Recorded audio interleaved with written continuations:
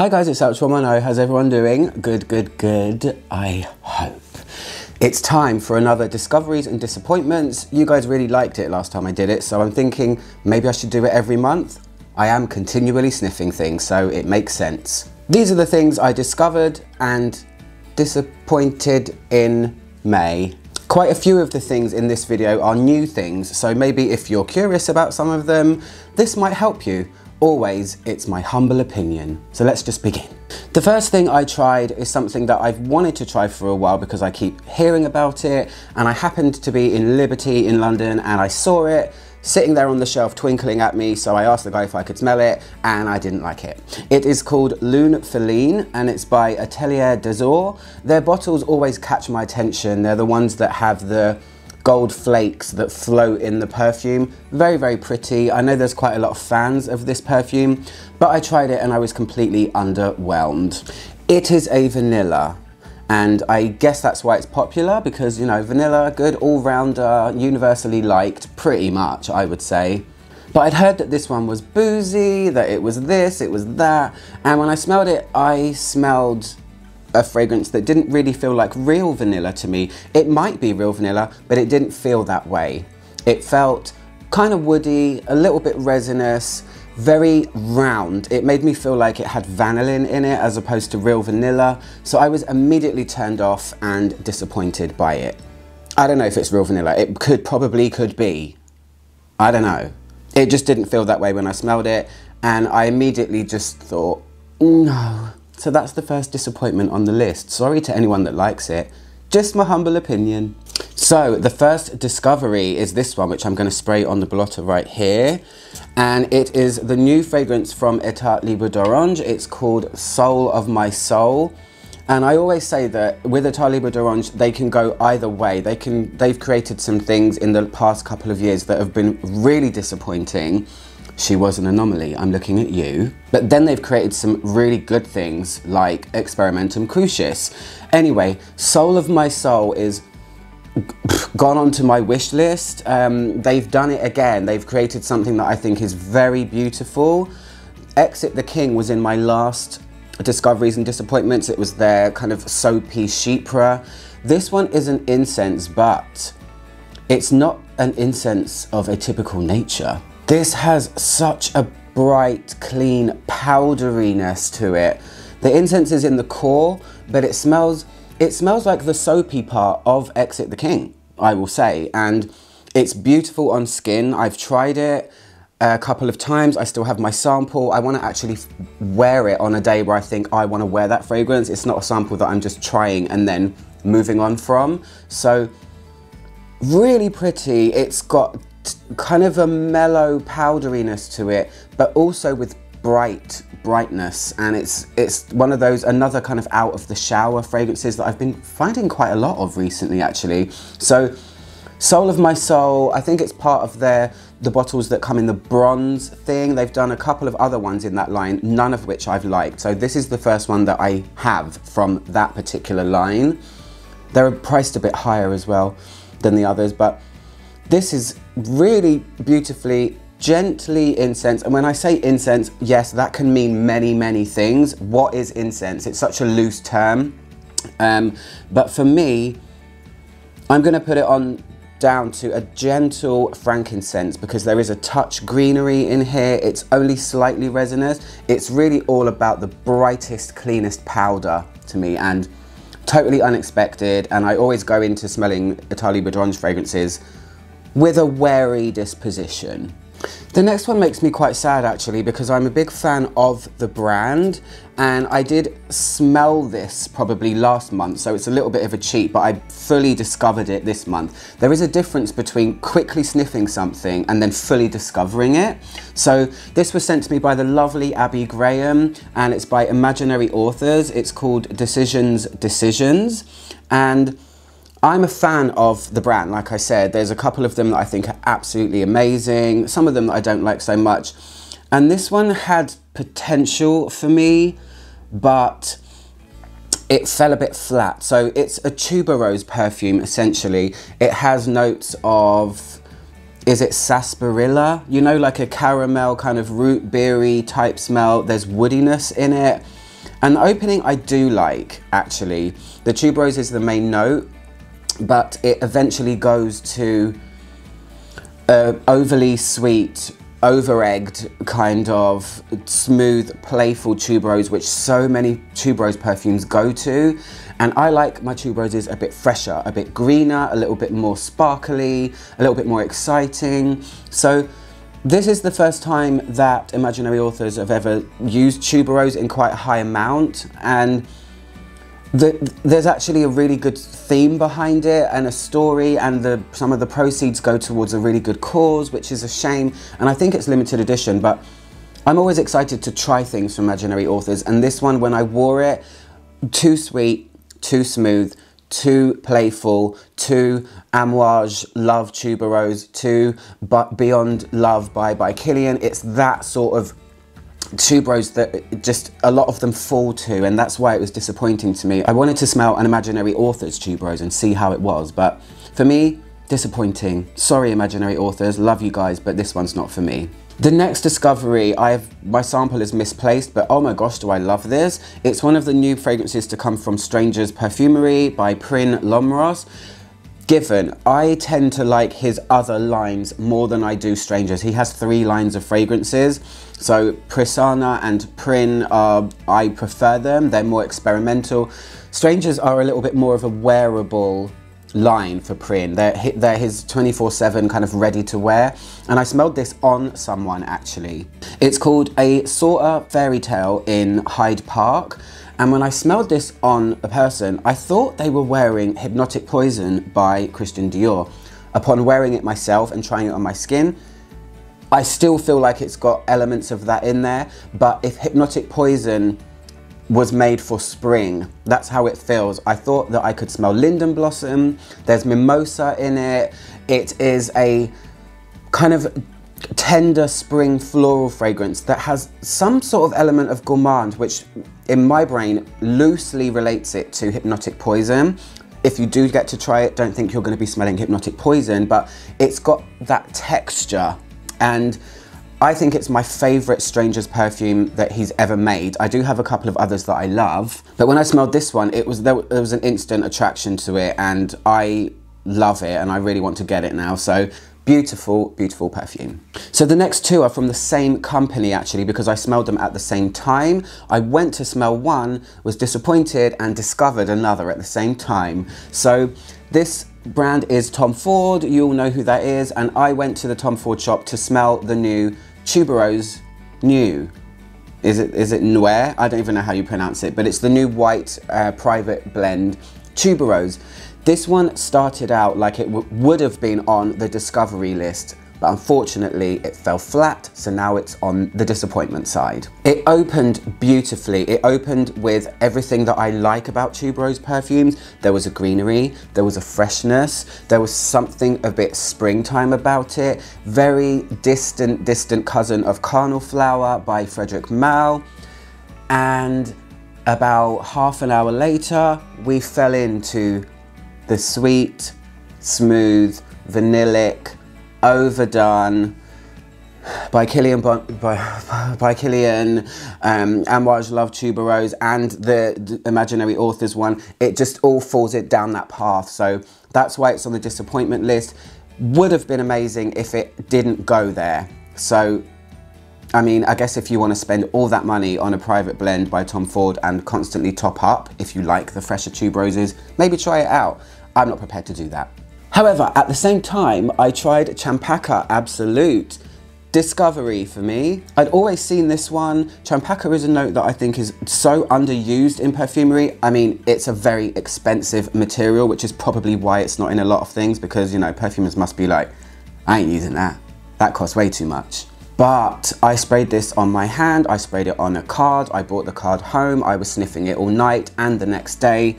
Now I need it in my life. Why did I have to go and fall in love with a Tom Ford private blend perfume?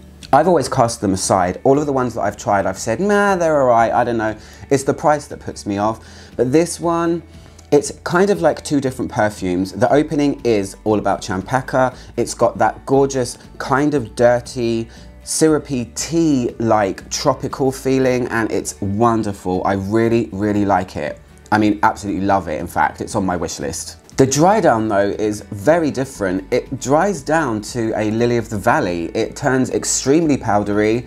It turns a little bit bridal. It turns a little bit fresh. In fact, the powdery texture of it is quite similar to the Soul of My Soul by Etat Libre D'Orange. I loved both the opening and the dry down of it, so on the wish list, massive discovery for me. And yeah, I guess I'm gonna be having a Tom Ford private collection in my collection at some point. The next disappointment was absolutely heartbreaking, and the people that were with me when I smelled this, George Yang in particular, will know. We did a meet up at Jovoy and I was randomly grabbing things and smelling them and I picked up a perfume by a brand called Prudence Paris and it's their number five perfume. I sprayed this on a card and I had this eureka moment. Any of you that follow me might know that I'm still trying to find the perfect ylang ylang perfume and Chameleon by Zoologist is the closest thing so far. Pretty much there, 99% there. This one was it. This was it. This was a ylang ylang perfume that I was trying to find. It had the ylang that actually smelled like ylang ylang and not some imitation that I smell in so many other perfumes. It was rich, it was bold, it had enough ylang ylang in it that it was about that. I ran downstairs, because it was upstairs and George was downstairs, and I said, oh my gosh, I have found the ylang ylang I've been looking for. Went back upstairs, put it on my skin, and my world came crashing down. On my skin, it went so wonky that it was totally ruined and I was like a balloon that got deflated. It smelled like petals trodden into a muddy puddle. It went really oddly muddy and green and cloudy on my skin. Everything that I was smelling on the card was not what I was smelling in the perfume and it was just, it was like a roller coaster of high and then just all the way back down to the bottom again and crash. So yeah, huge disappointment for multiple reasons. The next discovery is a sample that I've had for a while, but only actually just tried it this weekend. It's by a company called Oriza L. Legrand, or is it Oriza L. Legrand? This was sent to me by the lovely Kristen Spenceley Harding. I've had this for a while, Kristen, but I've only just tried it. Been intrigued by this fragrance for the longest time. It's called Chypre Mousse. The note list is what intrigued me. Probably about 40 or 50 notes. I don't know. It has mushrooms and it has earth and it has clary sage and it has loads of flowers and loads of woods and loads of everything, as a chypre does. They're usually very complex. The brand as a whole have been on my radar. They're a Parisian brand that look very vintage. I really like the look of them. So I wanted to try this mushroomy chypre. So I did. I think it's amazing. The way it smells to me is if you've ever tried the original Bat by Zoologist and prettify it a little bit more. You've got that earthiness, you've got that chypre, mushroomy, oak moss type feeling, and it does feel gentle and elegant, even though it's got an edge. So this one I just really like. It's, it's a tamed bat by Zoologist, and I didn't expect it to be like that. It's like Bat's gentler cousin, or if Bat went to the salon and got its nails did, you know? It's, it's just slightly prettier and the much everything in here is, is kind of perfectly placed. Nothing's too much. It's expertly blended and it makes me realize, yeah, I do want to try more from that brand. So I'll probably get a sample set at some point from them. So Chypre Mousse. It's also a little bit Mitsouko without the peach, but much more edgy. It is a classic Chypre perfume. But yeah, interesting to say the least. I can imagine in autumn that this would be so good if you were wearing, I don't know, olive green clothes and brown scarf and just, it feels like an autumnal kind of walk in a forest smell with all of the things that grow there but just put into a perfume. So that is a great discovery for me, Chypre Mousse by Oriza L. Legrand. The last disappointment is a, another tiny little bit of a cheat because I have tried this fragrance a lot of times, but it's always been in passing. I've never fully taken time to discover it. I've made a decision I didn't like it before, but this time I was in Selfridges and I saw it and I said, you're mine today. I'm gonna spray you and I'm gonna feel you and I'm gonna try and understand you. It is Unpopular Opinion Baccarat Rouge by Francis Kurkdjian. I really took the time this time to smell it and I don't get it at all. I don't understand why everyone goes on about this perfume so much. It is a very astringent medicinal saffron when you first try it. It's woody, it smells extremely synthetic, but that's fine. Synthetic doesn't mean bad. But the amount of people that say that they wear this when I talk to them and they say you have to try it. So I have tried it before, but it's always been on a sniffing day where I've smelled a lot of things and it's I end up just get you know paying more attention to something else that's nearby. This time I brought the card home, I put it on my skin, I let it sit by my bed. I mean, I'll give it its due. It stayed on the card for three days, three days. So maybe it's the bang for your buck thing that people like, but the actual smell of it, to me verges on unpleasant. And perfume doesn't have to be pretty all the time. I'm not that sort of person that thinks that. But it was a bit rough. Yeah, a bit rough. Saffron's a tricky one. It can smell like paint to me. It can smell inky. And if it's blended with certain things, it's beautiful. But in this one, it just smelled medical, like I'd cut myself and somebody had put something on my skin to cauterize the wound or to, you know, stem the bleeding or something. I don't get it. And people are probably going to say, oh my God, I don't believe you didn't like it. But we're all different. We all like different things. Anyway, let's talk about the last discovery that I've made, which is really, really exciting. Doing the YouTuber hand. It is Chipmunk by Zoologist. Oh my gosh. Okay, so I recently bought a bottle of Sloth from Victor and he sent a sample of this with it. This isn't going to be a full review because I still need to wear it properly. I've done skin tests twice and I think it's a winner. Given some of the newer releases from Zoologist have not been my favorite. They are my favorite brand and I recently did a video where I ranked all of them from 27 to 1 because I've tried all of them. Some of the newer ones were a bit lower on my list. Chipmunk could be near the top. It's ultimately a woody perfume and I will do a full review of it. I just need to, I'm gonna need to wear more than a sample to figure this one out um, because it's got a lot going on. But it, there's a ton of woody notes in here and it smells to me mainly at the beginning uh, like fir balsam. It is kind of related to, to musk deer a little bit, I think, but much softer. It smells to me I really like the dry down of Musk Deer. It's got that fluffy, sweet playfulness. It feels like the opening of Musk Deer and the dry down have been smushed together, then added in some brown furry tones. It's really cute. That's what I said to Victor. It smells cute, and that's a really weird way to describe a perfume, but it does. But what's really great about this is about an hour in on the skin, it becomes there's some kind of gorgeous floral uh, bouquet in the middle that is surrounded by brown fuzziness and it's warm and it's not as nutty as I thought it was gonna be, but I can see myself really loving this. Again, autumnal. I don't know how I'm managing to smell autumnal things in spring, but I'm always discovering things and just grabbing whatever I can. So Chipmunk by Zoologist is a little bit pine foresty, but with furry brownness and smooth, fluffy musk and um, just a, a, lovely floral accord that comes out when you put it on yourself. And it kind of feels a little bit like jasmine and other white florals that are crisp. And um, that's all I can say about it right now because it's still a brand new discovery, but I definitely love it. So that is good. Anyway, guys, that is my discoveries and disappointments for May. I plan to do this every month providing I've smelled or tried enough things. But yeah, that's that that's the uh, that's where I'm at right now with it. So I hope you like this video and maybe found out about something that you've been wanting to try. I'm Ouch Mono, trying to make the world smell better, one video at a time. I'll see you guys soon. Goodbye.